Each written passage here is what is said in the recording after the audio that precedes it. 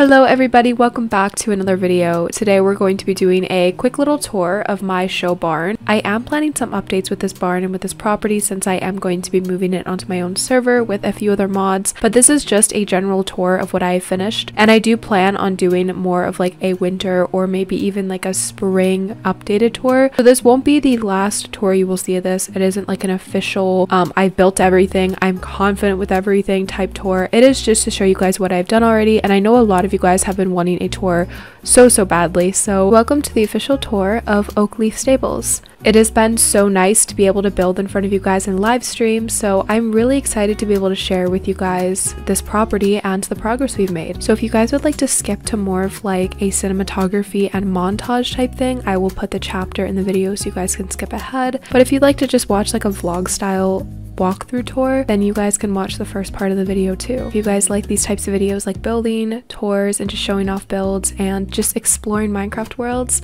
then make sure to like, comment, and subscribe. It really does help my small channel grow. And I'm excited to see some new faces in my live streams when I build mindlessly. Let's get right into the video.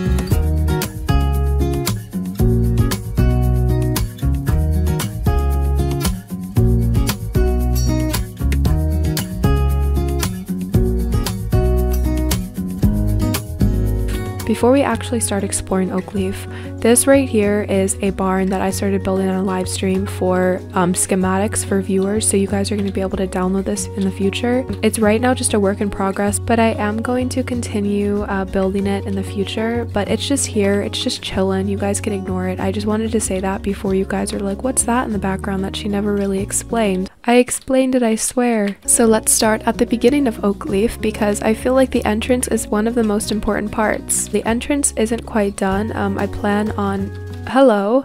Um, I plan on expanding this into like a trailway to my ranch, which you guys will get a tour on very, very soon. I plan on making like a trailway all the way to my ranch, but it's unfinished right now. Like I said, this is kind of like a work in progress barn. A lot of animals around it, hence the chicken. The chicken's chillin', chillin' chicken. When you walk onto the property, you can see that there's a lot of trees in the distance. There's this cute little, what I call is just an oval garden. And it's just a very, very pretty divider that I have to kind of split the path pathways in a way. On the direct left, we have my full slash quarantine barn. I'm not really sure when I'm going to be making it just yet. I actually built this on live stream, so if you guys would like to take a look at that, I do have my live stream build that I did with the reference of my main barn over there. Thank you Distance Blur for making that so nice. This barn in here, it doesn't really have a lot. It just has six stalls, a feed room, and a wash stall. And beside it, it has its designated pasture. And then over here, we have the two individual pasture. These pastures can fit up to one to two horses that are maybe aggressive or should be by themselves. Even just one single horse that is horse aggressive or just is in quarantine. Um, I want to just have two individual pastures. They also have a little shelter in the corner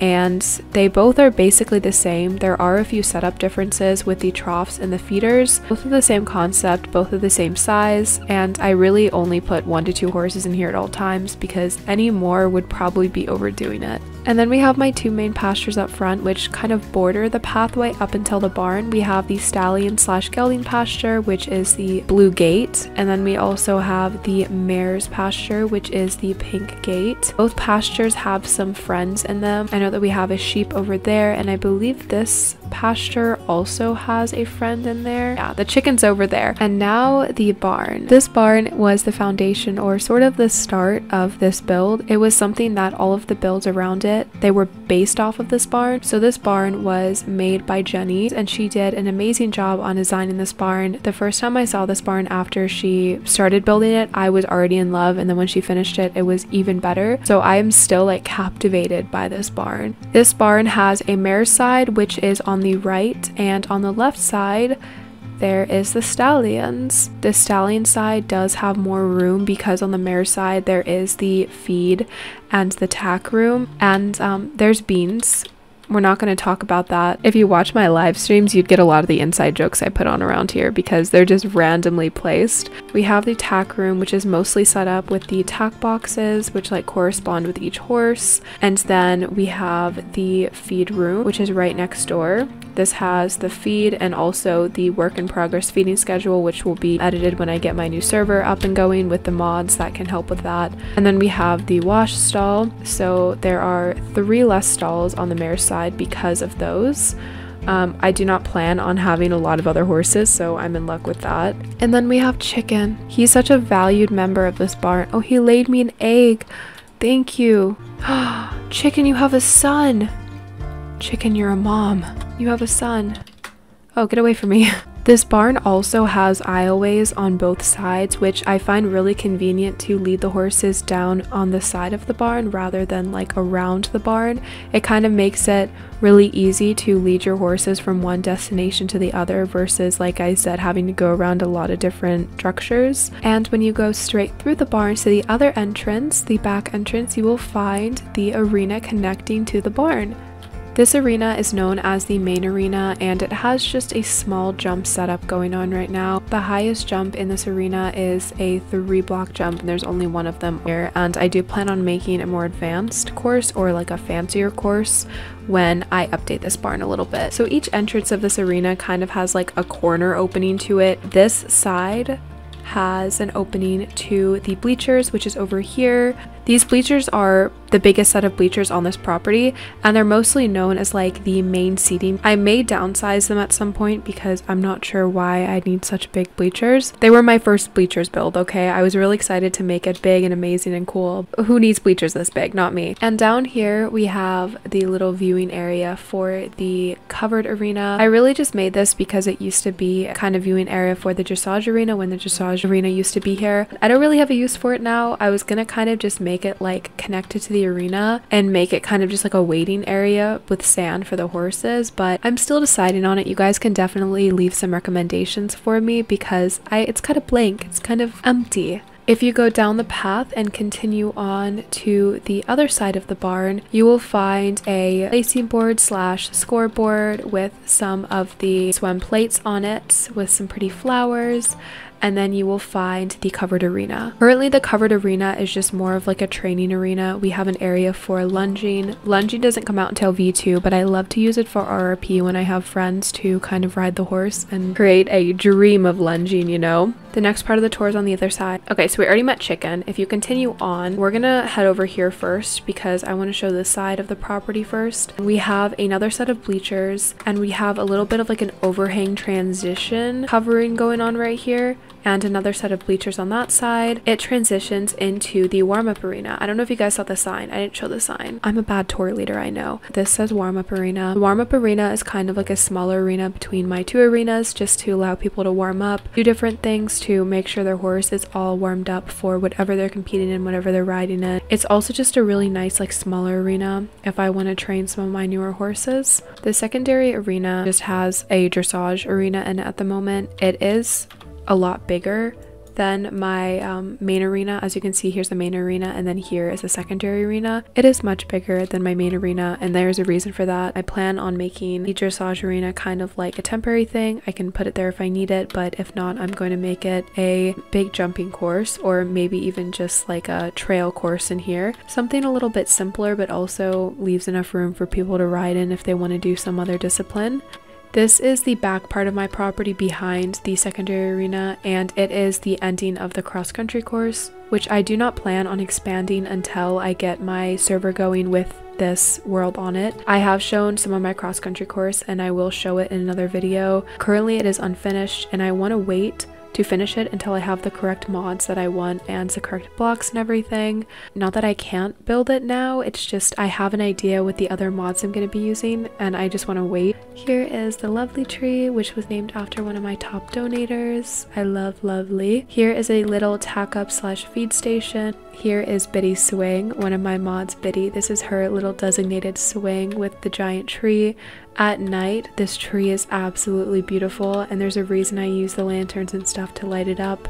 Here is a little filler, uh, like fountain garden area. This will also probably get some remodeling soon to add some trees and extra things. I kind of want to make it like a really organized garden, but it's really difficult to do that when I also want like a tree leafy look, you know? This is the Sophia gazebo. I named this after another one of my top donators and also just Sophia who joins my streams all the time and is really sweet. Currently it has like scaffolding for tables and I plan to make like a, a viewing area for the arena and beans.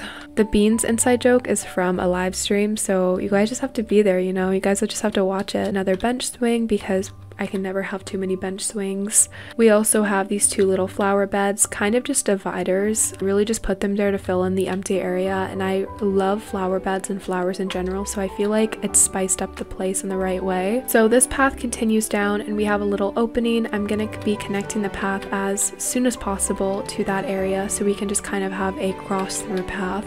I kind of want to make as many paths as possible so that the convenient like pathways are there, you know? And then we have kind of a round pen, working pen, whatever. Once lunging does become available, this will be very useful, but for now it's just to store horses in, maybe work them a little bit. And this over here is a giant archway that I built with World Edits or I guess formed would be the right word. And this is going to be the start to my other cross country trail, which I plan to make a little bit more difficult or a little bit longer than my original trail. So I've explained this in other videos and other live streams, but I plan on making a cross country course, or I already made one over here. I'll show you guys some of the jumps. And it's going to end right here. This one's going to start here and just travel all the way across the world right through three different biomes. So I'm really excited to see that, but this is kind of just the start of it. Behind the main arena, we have the start of the cross country course, and I do want to wait to show you guys the full cross country course, but I'm going to show you guys some of the jumps. Um, I have showed them on a live stream before. I think my favorite jump is either this jump or this jump, which is the fallen tree jump. Um, I do plan on making more jumps soon for the cross country course. It kind of just goes on throughout the map with like wooden blocks to show where I want the jumps and then the finishing area right here.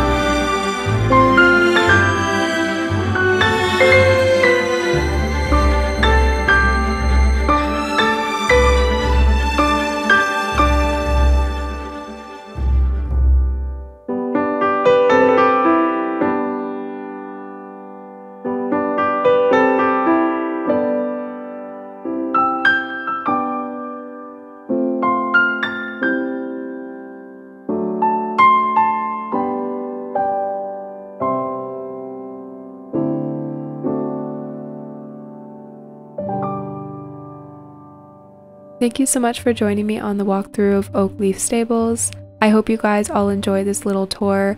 I don't know if you guys can see Winnie in the background, but she is poking her head out of the stables. I do plan on making more tours for the stables and more build live streams. If you guys do enjoy those types of things, make sure to put on the notifications and check out my Discord because I give notifications before every stream there. And I also hope you all loved all of the footage that I put together because I love adding cinematography and little extra clips to my video. I hope you all have an amazing rest of your day. Stay healthy and safe, and I will see you in the next video or stream.